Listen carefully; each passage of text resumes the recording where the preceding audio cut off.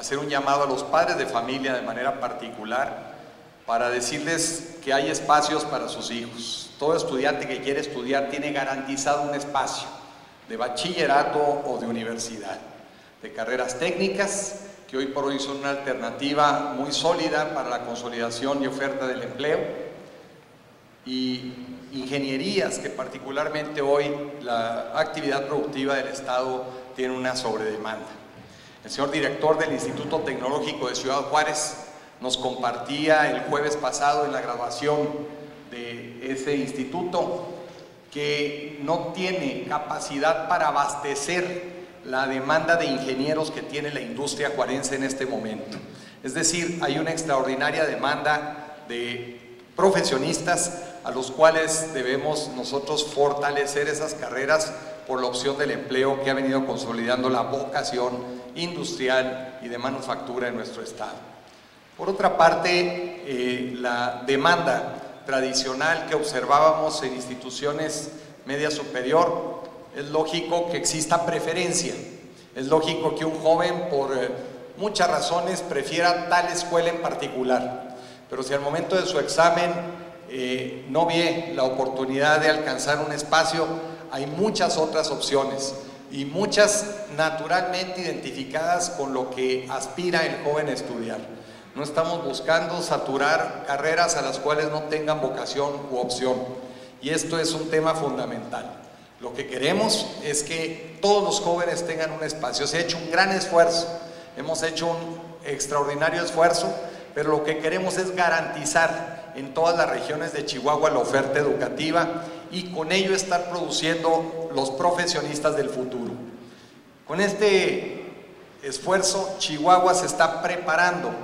para que el impacto de las reformas económicas que el país hoy está resolviendo, estemos preparados para ello. La generación de técnicos, de ingenieros, de administradores, de médicos, de enfermeras, de nutriólogos, de dentistas, de maestros, en fin, de todo el abanico de opciones educativas se esté fortaleciendo, pero también queremos incentivar aquellas que tienen una extraordinaria demanda como es la minería. Este esfuerzo se está prácticamente impulsando desde algunas instituciones técnicas como el CONALEP, en el que la metalurgia es una alternativa de alta demanda, pero también con extraordinaria oferta de empleo. Quiero con ello agradecer a las instituciones privadas por su voluntad de llegar a acuerdos en los cuales si un alumno que aspire a ingresar a las instituciones privadas eh, carece de recursos económicos suficientes, estaremos generando un modelo de una beca tripartita, es decir, la institución en un 30%,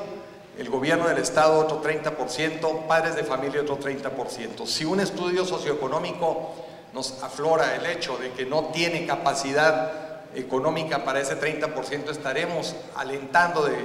mejor manera esa opción. Pero aquí lo que buscamos es que ningún joven se quede sin un espacio educativo, ningún joven se quede sin una alternativa y sí fortalecer la vocación profesional para que lleven en esa orientación previa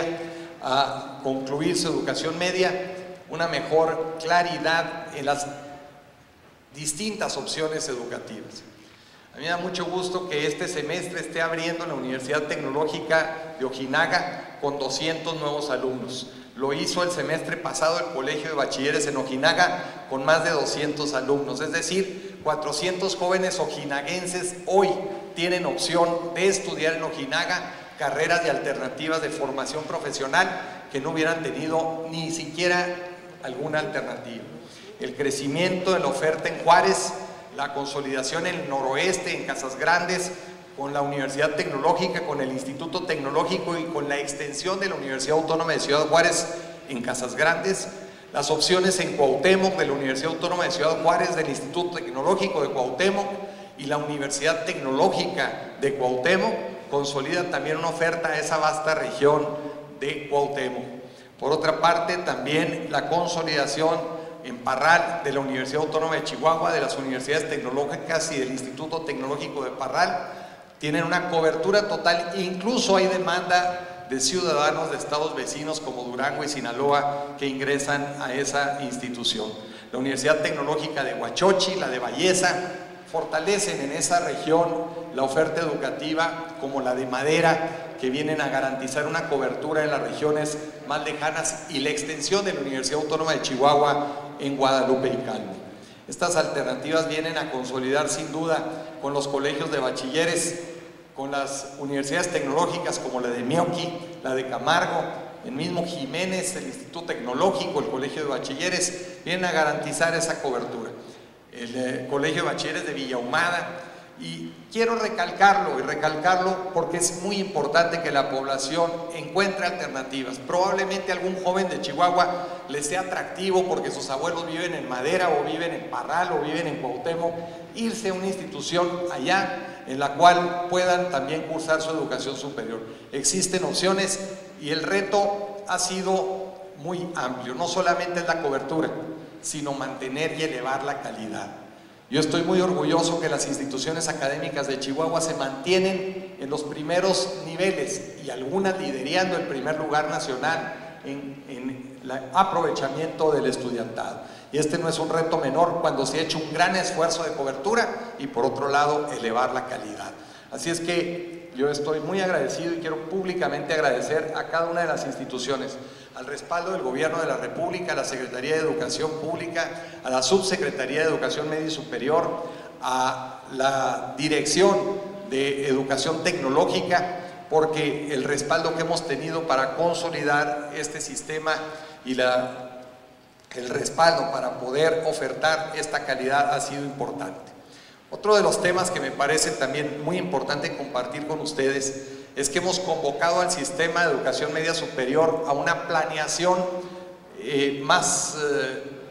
de fondo para el próximo semestre. En vísperas de la conclusión del proceso legislativo en materia energética y la consolidación de infraestructura que al Estado le está dando otras potencialidades. Nosotros estaremos consolidando, apoyando a estas instituciones de educación para que el próximo semestre nuevas opciones de educación técnica y de educación en ingenierías se dé, así como de planeación, de administración de bienes que tienen que ver con la actividad energética y el fortalecimiento de la minería y de la actividad forestal ganadera de servicios turística del Estado. Estos temas no son menores porque es la vocación del Estado. El Estado no puede ir nunca más por un rumbo su actividad económica y por otra el sistema educativo. Este es un tema elemental porque entonces los esfuerzos, que son muchos, imaginemos que uno de cada tres chihuahuenses, y no imaginemos porque esa es la realidad, uno de cada tres chihuahuenses están hoy en el sistema educativo. Es un gran esfuerzo de nuestra sociedad, es un gran esfuerzo de las instituciones, es un gran reto mantener ese ritmo de que uno de cada tres chihuahuenses esté estudiando pero sin duda a muy corto plazo estaremos viendo los frutos de que no es igual que la generación de jóvenes sean profesionistas y detonen las actividades económicas en las distintas regiones del Estado, a que estemos en una condición de subempleo o de condiciones distintas en el empleo que atraigamos a Chihuahua. Les he compartido que la visión del mundo y para Chihuahua es muy atractiva, sobre todo por la armonía que se ha logrado de la planeación y el desarrollo económico junto con el sistema educativo. Por eso mi agradecimiento a las universidades autónomas de Chihuahua, de Ciudad Juárez, a las universidades tecnológicas, al eh, Colegio de Bachilleres, a los institutos tecnológicos, a todas las instituciones media superior, aquí presentes y con su presencia han mostrado no solo voluntad, sino compromiso, porque los números que nos refleja es que un semestre más Chihuahua tiene cobertura universal. Es lógico, insisto, que un joven quiera en el turno de la mañana en la escuela de la esquina.